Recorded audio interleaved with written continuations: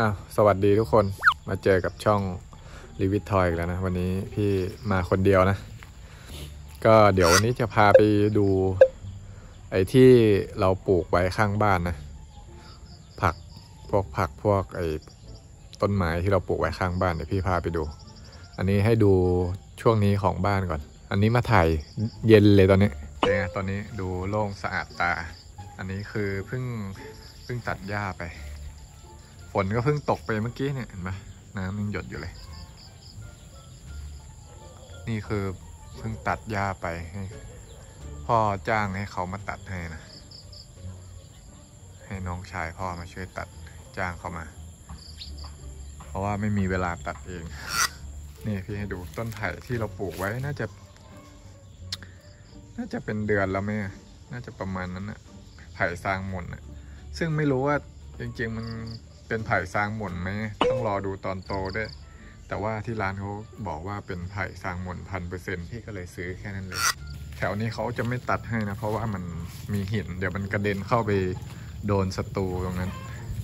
คุณลิกเขาถ่ายคลิปอยู่ในนั้น นี่ เห็นปะอันนี้คือต้นมะละกอที่แม่ให้มาที่ปลูกวันนั้นนึกว่าจะตาย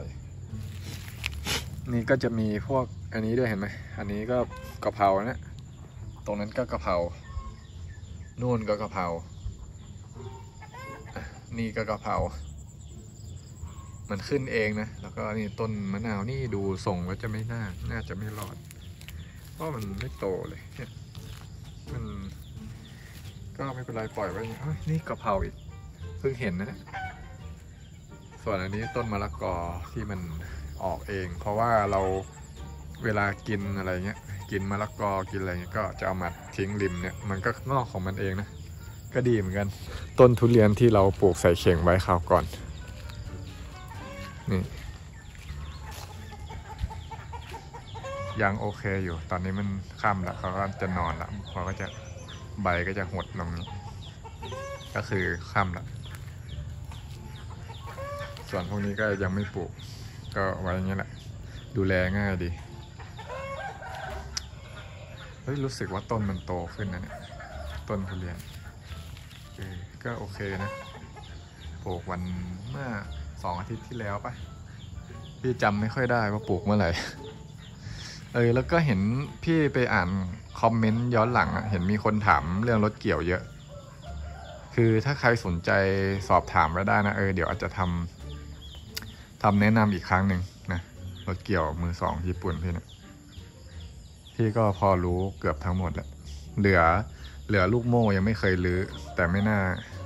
ไม่น่าจะมีอะไร เคยเดี๋ยวเดี๋ยวรอให้มันหมด หน้าเกี่ยวข้าวนี้ก่อนเดี๋ยวพี่ว่าจะรื้อนะเออเดี๋ยวพาไปดู ไปดูข้างบ้าน ยังไม่ถึงข้างบ้านสักทีเดี๋ยวดูให้ดูตรงนี้ก่อน อันนี้เป็น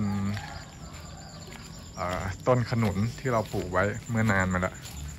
นี่ วยอย่างนี้เลย ได้กินแน่นอน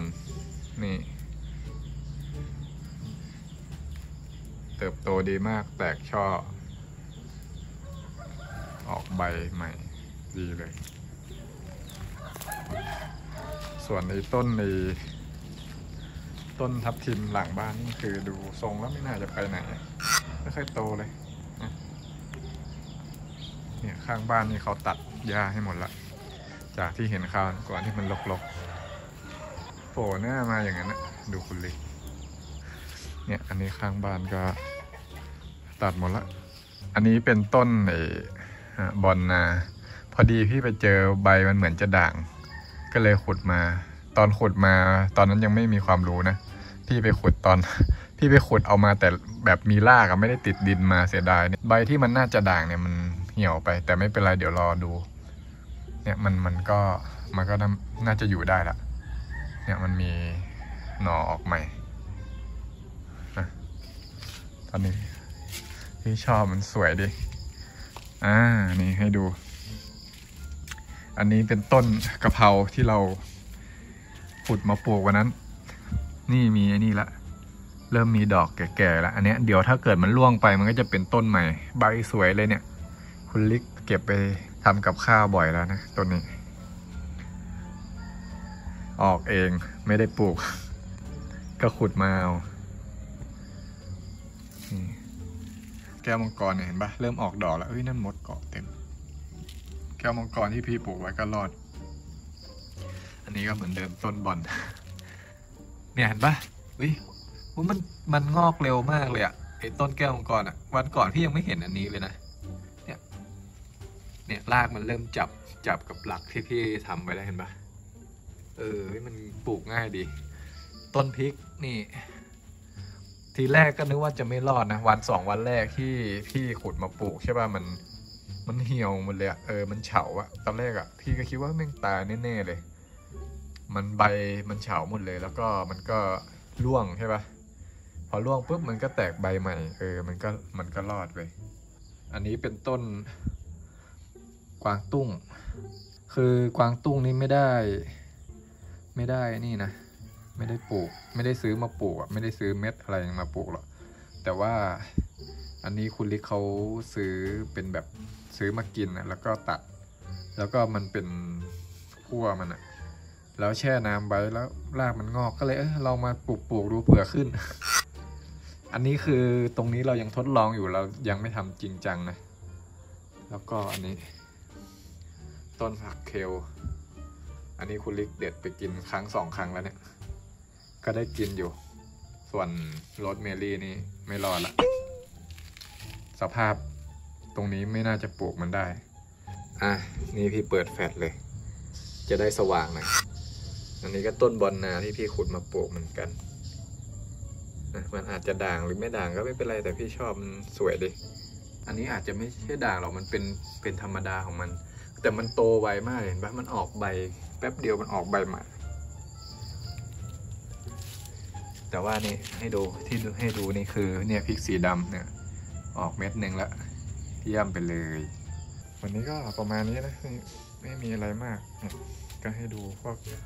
ที่ปลูกปลูกไว้ ก็น่าจะได้กินนะ ต้นพริกก็ตอนแรกนึกว่าจะไม่รอดรอดอยู่ ก็โอเค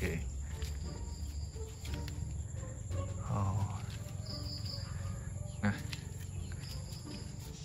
ก็วันนี้ก็ประมาณนี้นะถ้าเกิดใครเพิ่งเข้ามาดูก็ฝากกดติดตามด้วย วันนี้ไม่มีอะไรมาก ก็มาอัปเดตให้ดูแค่นี้แหละ